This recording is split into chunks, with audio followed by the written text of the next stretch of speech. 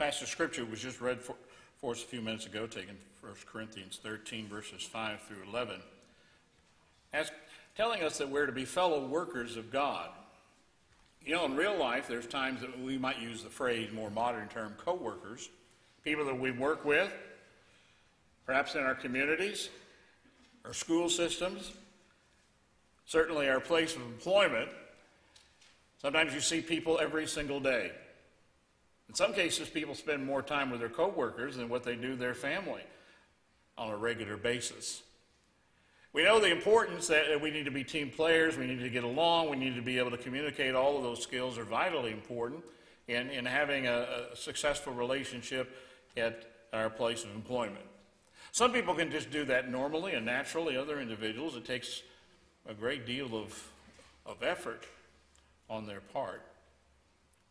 As Christians, fellow Christians, we're, we're to be fellow laborers, co workers in God's kingdom, God's vineyard, and the church. Sometimes Christians don't always act like fellow laborers, do they? In some cases, brothers and sisters in Christ act and behave like enemies, or they're not getting along, and they quarrel, and they bicker, and people get upset. And we see that when that happens, Christ loses and Satan wins things would continue to deteriorate, go from bad to worse. In some cases, churches begin to dwindle away and fail. And sadly and tragically, sometimes have to close the door forever. We need to be able to work together. Perhaps you recall back in the early 70s, uh, uh, a mishap happened out in space with Apollo 13. And uh, there, was, there was an explosion on board and the Apollo 13 was losing power, losing oxygen. They were on their way to the moon and they had to complete the trip, trip and circle to come back to, to Earth. And at first, everyone just thought, well, the crew's lost. But you know what? People got together and they started working. And all the engineers and scientists in, in Houston, they began to work and they began to talk. And the astronauts on the ship, they began to work. So we had, we had perhaps hundreds and thousands of people working night and day to solve this problem. That's what engineers do, don't they? They solve problems. And they were eventually able to come up with a plan to return those three astronauts back safely to Earth. Rather than calling it a failure, they called it a successful failure, where at least we got the astronauts back. When we work together, we can accomplish a lot. And I think that's one thing that Satan really fears. He does not want us working together. He wants us to be distracted by the world. He wants us to be involved in our own problems and our own issues. He wants us to quarrel and bicker about almost any issue. Sometimes congregations, I can remember sitting in business meetings where we'd spend two hours talking about what kind of a vacuum cleaner we're going to buy. That's ridiculous. And it's ridiculous when we talk about it here, but it actually happened. What color we're going to paint the walls? And on and on it goes. And, and, there's nothing wrong with having a discussion, and yeah, there's different approaches and how much money we're going to spend, but I've seen instances and examples of where brethren get mad and they're incensed about it. Almost to the point that they're ready to start striking out and trying to hit their fellow brother in Christ. We are fellow laborers, and there is so much that we can do and accomplish. When we work together in a congregation, we can build up the church rather than tear down the church and the congregation. I wanted to just touch upon a few of the highlights from this passage of Scripture, which is the text of our lesson this morning. Paul talks about that even as the Lord has given opportunity to each one of us, we all have opportunities. Sometimes opportunities just fly over our head and we know, we're not even aware of them. And sometimes an opportunity comes and we say, well, you know, I'm kind of busy and I just don't have the time to deal with that. And so we just allow it to pass us by. We have all we spoke in our adult Bible study class about procrastination and excuse making. Sometimes we engage in a conversation with someone about God and Christ, and we, we just kind of go quiet and silent and say, Well, nothing I say is going to do any good. They're not going to listen to me. I, I don't want to be a failure. I can't stand talking to someone again, and they just walk away and they're not interested. It makes me feel bad. There's a lot of opportunities that we get. Now, sometimes these opportunities come our way, maybe we need a little bit of help. There's nothing that, in the Bible that tells us we can't take someone along with us to have a Bible study or talk to someone who's, who's got some spiritual issues and problems. We can see that in some cases, Jesus sent out the apostles two by two. So it doesn't hurt if we, if we work with one another, but we need to take advantage of these opportunities. God gives us opportunities. Another thing we need to remember is that God causes the growth. God works with us. Sometimes we say, well, how are we going to get this congregation to work and how can we get it off its back? And it's, it's just almost dead. And, and what are we going to do? We need to remember there's nothing that we can do just all by ourselves. God is willing to work with us as fellow laborers. The children of Israel first entered into the promised land, and the first city was a formidable city, the city of Jericho, had these huge walls. And the Hebrews probably thought, well, how are we ever going to be able to assault this city? And how are we going to get through those big walls? And, you know, if you get up too close, they start shooting arrows and, and spears at you, and they, they dump hot oil down your back. There's just no way we could take this city. Well, there was no way they could do it by themselves. God was with them. They worked together. God told them what they needed to do. And yes, his instructions, they didn't make a lot of sense. Go out there and march around the city once for seven days. Uh, it just made, it wasn't logical. It wasn't remotely logical. But they had a good leader, Joshua. He led them, told them what to do, instructed them, and they did it. And with God's help, the walls of Jericho fell down, and they were able to assault the city and take it. They worked together. We need to understand, as it says in the, one of the final statements of this passage, for we are God's fellow workers. You are God's field, God's building. That's the point that Paul is trying to tell us here. We're not by ourselves. We have God's help. God is the one who gives the growth. There's times I've seen congregations who are blessed and they grow. You know, I've been in, in, in faithful conservative congregations up to as much as 500 people. And one of the problems is, is sometimes that pride and arrogance can settle in, and we think, oh, look what we've accomplished. Oh, we wouldn't be here if we didn't have Brother so and so as a preacher. He's been here for 25 years, and well, people are just flocking in to hear him. Oh, we, we've got a fantastic eldership. We, on and on. We got this big building that we built. We spent $5 million on this building. It's just a wonderful building. We need to be, there's nothing wrong with those things in and of themselves, but we need to remember that we're working with God. And also, we don't do these things to glorify ourselves, to glorify a preacher or an eldership or a congregation or their building. We do it to glorify our God in heaven. Praise Him and worship Him. We must never, ever forget that. And if we start getting the big head, big head and get arrogant about it and, and start, you know, patting ourselves on the back, God may abandon us or remove the candlestick, that candle lamp that that uh, the Lord spoke about in Revelation 2 and 3 with the seven churches of Asia. I want you to ask yourself this question this morning Are you God's fellow laborer? Are you working with God? You know, sometimes we're not working with God, we're working against God. We're fighting against Him. We, we're looking at uh, the spirit, eight spiritual building blocks or graces located in 2 Peter, the first chapter, verses 5 through 11 and, and, and we work together. Some people, they don't achieve that. They don't grow. They don't mature. They don't develop. They're working against God. Remember, Jesus once said, You're either for me or you are against me. Jesus once said, No one can serve God and mammon at the same time. Mammon literally means money, but you could look at worldliness. You could also substitute Satan or the devil. You can't worship both. Sometimes we think we can. We think, well, uh, I'm going to sit on the fence. I'm going to worship God. I'm going to also the world and Satan, and I'll just stay here on the fence and I'll be safe. And you've heard me say time and time again that the fence doesn't belong to God, it belongs to Satan. It's another ploy that he uses to try to convince us to be disobedient. 1 Thessalonians 3, verse 2, and we sent Timothy, our brother and God's fellow worker in the gospel to strengthen and encourage you as to your faith. Ladies and gentlemen, we're to all be God's fellow workers. But if we're going to be his fellow worker, we have to do it on his terms. So often we say, well, I want to work with God, but I want to do it my way. How I think, how I feel. That's the way I work with God. No, it has to be according to him. You know, it's kind of like maybe you get a job in construction. You're building a house or you're building some commercial structure.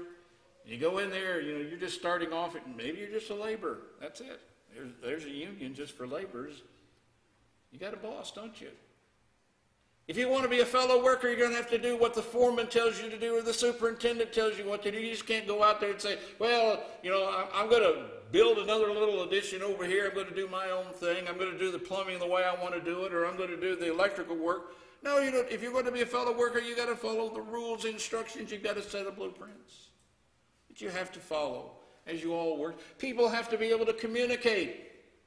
The plumbers, the electricians, the general contractors, concrete finishers, they've all got to work together. You know, you travel very far from this area, and you just see buildings going up everywhere. When Cindy and I drive here from Greenfield, we I don't know how many buildings and homes we see just sprouting up. And for that to happen, people have to work together. They have to work together. If they didn't work together, none of that would happen.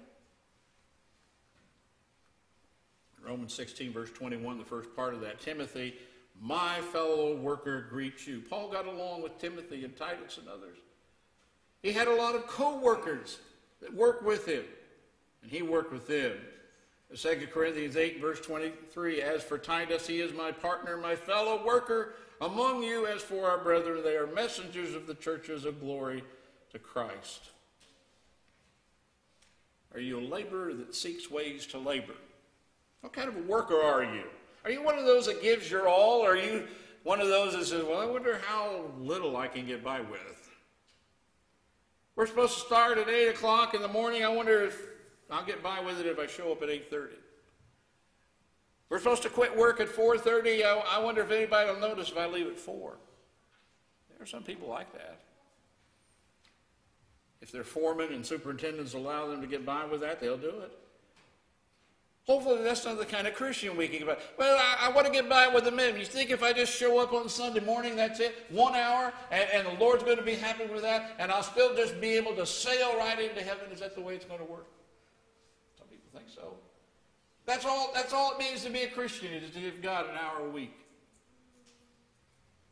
Maybe I give God two hours a week, three hours a week. What do we do the rest of our time? Could you support your family on working a couple hours a week? Maybe some people do. It'd be great. You may think, well, that'd be great and wonderful if I could. But we know that it's not realistic. In Titus 2 and verse 14, we can read, Who gave himself for us that he might redeem us from every lawless deed and purify for himself a people for his own possession, zealous for good deeds. Zealous You know, there's been times I've, I've sat in business meetings and well, we've got some kind of a project, we need to do something. Uh, does anybody want to volunteer to do this? You know how often I've just seen all of a sudden everyone starts looking down. Nobody looks up. They go, oh, please don't call on me. I don't, I don't want to do this. Sometimes you'll have a person who will volunteer. that's the way we need to be. I mean, if, it's, if we have the abilities, it's something that we can do, you know, our hands should shoot up and say, Yes, I'm willing to do that, whatever I can. It may be inconvenient, it may not be pleasant, but I'm going to do it. I'm going to be a fellow worker with the Lord. 1 Corinthians 3, verse 5. And went, what then is Apollos, and what is a Paul? Servants through whom you believed, even as the Lord gave opportunity to each one. Matthew 9 and verse 7. Then he said to his disciples, The harvest is plentiful, but the workers are few. Do you still believe this verse? Some of my brethren say, Well, that, that's just not true anymore. Nobody, nobody's interested in the gospel. Nobody's interested in God. Nobody's interested in Christ. Nobody, nobody wants to be involved in a church or a congregation. People, they, they don't believe in the Bible. So we, we shouldn't even try. And granted, if you look at the statistics, they're not encouraging. But that does not mean that there are not people out there who need the gospel, who need God. There are people out there who are searching. And if our paths cross, we should try to reach out to them. Sometimes we like to profile people. We think, well, I'll, I'll, I'll, seek out someone, but, but only if, if they meet my, my profile. You know, in other words, they're, they're individuals that they're, they got good jobs and they live in a nice home and they live in the best part of, of the community and, and they've got their act together and they don't have any problems. Okay, I'll stay with them. Is that what Jesus did? Oh, I'm just going to work with the, the, the, best Jews there are. What about Matthew? He was kind of a character, wasn't he? Was a tax collector. Everybody hated him. But Jesus reached out to him. The Pharisees, they gave him a lot of criticism for that. Zacchaeus. What about the, the woman, the adulterous lady who was thrown at his very feet and we see he, did, he didn't want to stone her like everyone else wanted to, did he?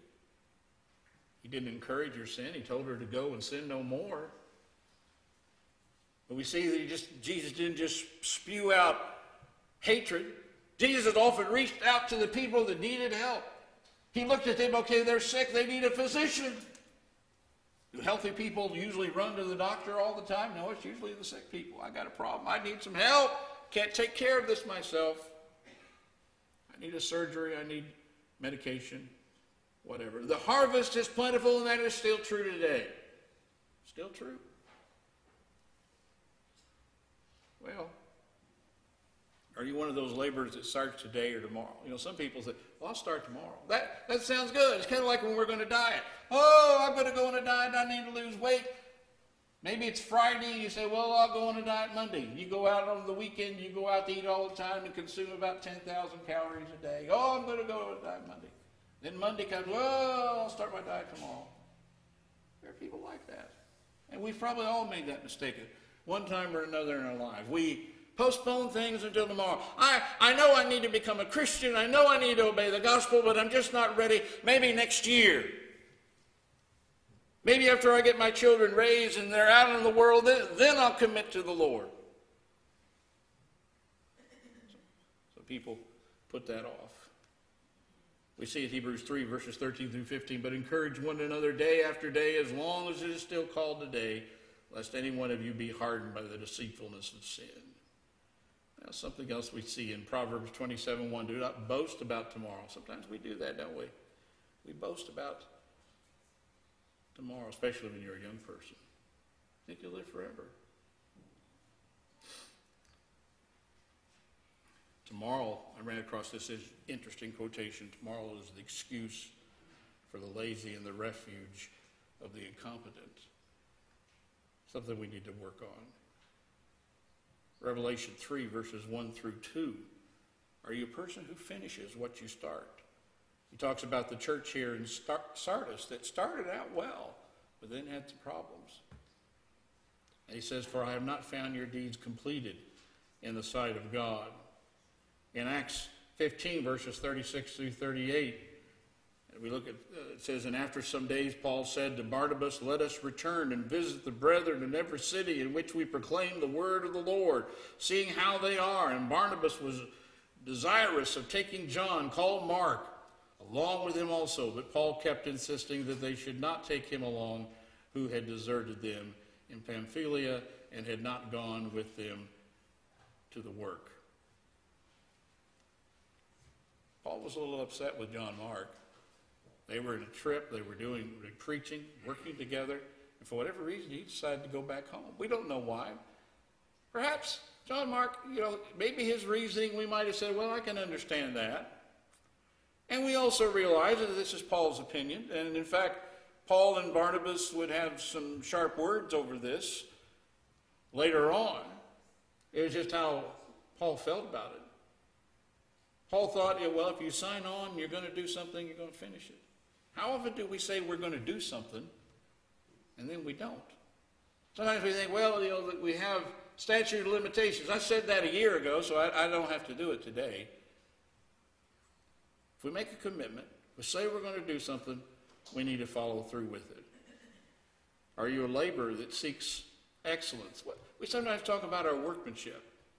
Let's do the best we can. Somebody, a person says, Well, I, I need you to do this report. It's important and have it done in a couple of weeks. And sometimes people procrastinate about it, and then they'll wait, kind of like homework assignment. They wait till the, the very last minute, and then you know they'll try to crash and get, get everything done. They hand in the report, full of typos, full of misrepresentation. If there's, there's calculations involved in numbers, sometimes the numbers are incorrect, not valid. It's not complete. It's just shoddy workmanship. Well, usually in a place of employment, a person isn't going to get along very well with that kind of approach. People are looking for, for excellence. Now, granted, no one's perfect.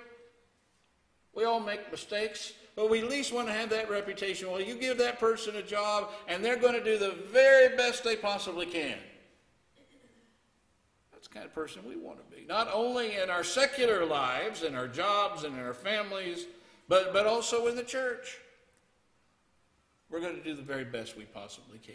We're going to seek excellence. I think that's what Paul did. Ecclesiastes 9 10. Whatever your hand finds to do, verily do it with all your might, for there's no activity or planning and knowledge and wisdom in Sheol where you're going. Give everything you got. And we talked already about Revelation 3 15 and 16 about neither being hot nor cold or, or lukewarm. Are you a laborer that perseveres. We need to persevere. We need to endure. That's not always easy to do. Life, life can really wear us down. There, we have problems and we have difficulties and we have challenges and we get discouraged and we get depressed. We often say life isn't fair, and it, no, it isn't. In any stretch of the imagination, it's not always fair. We see some individuals who have more than their fair share of health difficulties and problems. I know people like that. Throughout all the years I preach, it's just one thing after another, no fault of their own. That doesn't seem fair. Why some people are the picture of health and they live to almost 100 years old and rarely ever have to go in and see the doctor, never take any medication. And then there's someone over here that's on all kinds of medication, had all kinds of surgeries, all kinds of problems, and constant pain. Doesn't seem fair. The Bible addresses that. That's in another entire discussion itself. And it's hard to persevere, but that's where we have to try to learn to place our trust in our God. In Romans 2, verses 7 through 8, to those who by perseverance in doing good seek for glory and honor and immortality, eternal life, but to those who are selfishly ambitious and do not obey the truth, but obey in righteousness. We see in Hebrews 6 and verse 12 that you may not be sluggish but imitators of those who through faith and patience inherit the promises. You ever gone to a school track meet or cross country? And you, you, you know, especially in cross country, you may have hundreds of people out there, depending on how large uh, schools you're dealing with. And they start off, and everyone's, you know, they're, they're doing pretty good. But then as people start wearing down, they start, they start getting tired. And it's at the finish line where you begin to see who still putting some effort in it and some they gave up a long time ago. We need to learn to persevere. It's not easy. Galatians 6 9, let us not lose heart in doing good, for in due time we shall reap if we do not grow weary. Do you use your abilities? You know, we have the parable of the of the one talent man who he had one talent, he had some abilities, but he didn't use it. He didn't use it. He tried to hide his talent. Ephesians 4, verse 11. And he gave some as apostles, and some as prophets, and some as evangelists, and some as pastors and teachers for the equipping of the saints, for the work of service, to the building of the body of Christ. I'm not saying that every man has to be either a preacher or an elder, but I know some individuals who are really good speakers, but they, they never want to preach, they never even want to teach a class. I've known individuals who have a lot of good abilities as far as maybe they could, they could be a, make a really good elder or a deacon, but they don't want the responsibility. And uh, yes, I know that the Bible tells us that individuals like that need to desire that office. But my thought has always been, well, why don't you desire that? You have the abilities, you have the talent. If you're going to be a fellow worker with God, then why don't you use those talents and abilities to glorify your God in heaven? I think a lot of it has to do with our concept of retirement. People say, well, I've worked hard and, and now it's time for the, the young fellows. It's, it's going to turn things all over to them. And we can see that in the past couple of decades, individuals, they've been retiring earlier and earlier in their life. It seems to be going a little bit in the other direction now where people are working longer because of the economic circumstances have, have changed. And sadly, I think there's some older folks, both men and women, who think, okay, well, we're retired now. That also means we're retired from being a fellow laborer with God. Where do we read that in the Bible? You only have to be a fellow laborer until you retire. Till you hit 65. Some cases we see that people at 65 are still extremely healthy. They may be extremely healthy for another 20, 30 years. Think of that. Almost a third of your lifetime where you are freed and released from responsibility of working for an employer. You got all this time in your hands, and so yet we sometimes just want to self gratify ourselves. Nothing wrong with enjoying retirement, but we need to find time and room to serve our God. And also, as we get older, we've, we've learned a few things along the way. We've got experiences, we've got wisdom. Hopefully, our knowledge has, has grown through the years. We have so much that we can offer the congregations that, that we are a part of. We want to be fellow workers. We want God to wear us out in our service to Him. In 1 Peter 4, verses 8 through 10, and above all, keep fervent in your love for one another because love covers a multitude of sins. Be hospitable to one another without complaint, and each one has received a special gift, employed in serving one another as good servants the manifold grace of God. There's the idea of serving one another. We, that, that word kind of leaves a bad taste in our mouth, doesn't it? I, I, I don't want to be a server. Uh, I don't encourage my children. I want you to grow up and learn to serve. Do we say that? No, I want you to be a captain in industry. I want you to, to be a senator, president of the United States, a CEO of a large corporation. We just say, I want you to serve. We need to remember Jesus Christ served, came to this earth to serve. He served his disciples, washed his disciples' feet. We can go on down the list of all the many different ways that he has served us. And yet we can go back to John chapter 1 and read in that chapter that in the very beginning the Word was with God, the Word being Jesus Christ. Jesus was involved in the creation of the world. He referred to himself as the Lord of the Sabbath. We see that Jesus had the ability to forgive people's sins. We see that Jesus could walk on water. Jesus could reason with the most brilliant minds that the Jews had at the time, and he could make them look foolish, uneducated, by just using simple everyday thoughts and ideas. Jesus was the master teacher. He's our Savior. All of those things, and yet he was a servant Yet he was a servant. We want to follow in his footsteps so that we can serve other people.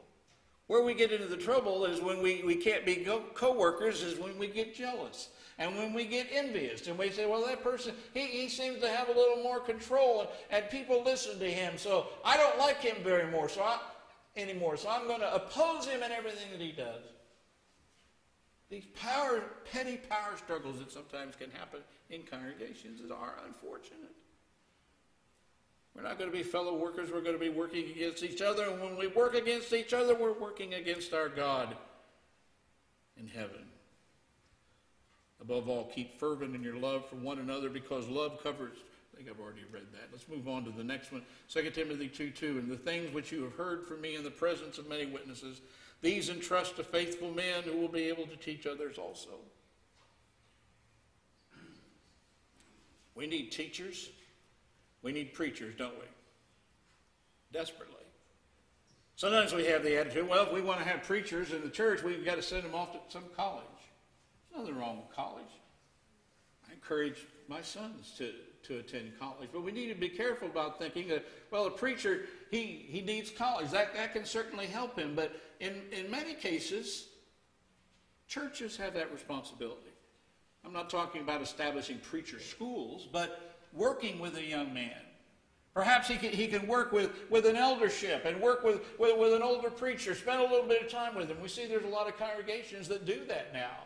A young man will come in, work a couple of years, learn what he needs to know, and I think that addresses what Paul is talking about here, entrusting to faithful men who will be able to teach others. We need to encourage these young men because we need them desperately. You know how often I've heard in the last few years congregations looking for preachers and they say, There's not as many out there as there used to be. It's getting harder. A lot of young men say, Well, I don't want that lifestyle anymore. It's just, it's just too hard on my family. And, and, and financially, sometimes it can be a, a real struggle and a challenge. And yes, we can get very critical and say, Well, they're just preaching for money. Everyone else.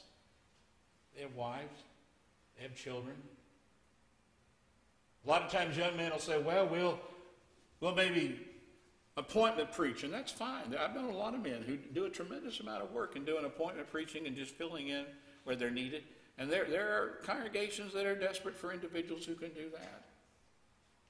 We need to learn where we can, we can get involved. But the congregation, I think, needs to t- congregations need to take this seriously. Teaching and encouraging young men to become teachers and preachers, and perhaps as they age and get older in life, also serve and work as elders. We need to remember that the future of the church depends on this.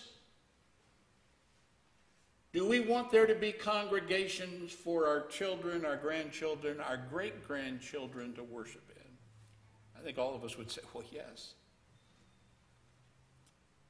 To do that, we have to be fellow workers with the Lord and God. So, as we come back to this question, are you God's fellow workers? Are you just working for yourself? You just working for yourself, your family, or are you a fellow worker of, of God's? Is your labor for the Lord a labor of love? You ever heard the expression someone say, well, if you love your job, you'll never work a day in your life? There's a lot of truth to that. If, if you love your job, you don't look at it as work, it is a labor of love. That's the way we should look at it with our families and our young children. I know sometimes when you bring that baby home from the hospital and that baby's crying all night and you're exhausted and you're tired, you say, Well, I don't know about this being a labor of love. But it is. Once you get on the other side of it, you say, Well, it was the most important thing, one of the most important things I've done in my life, and I appreciate them so much. It is a labor of love that we invest in our children. That's the way we should look at it in being a fellow labor of God.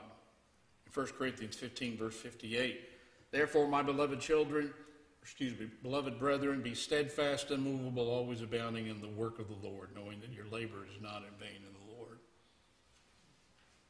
Sometimes in our jobs, we may feel like, well, I just don't know if I got much accomplished today.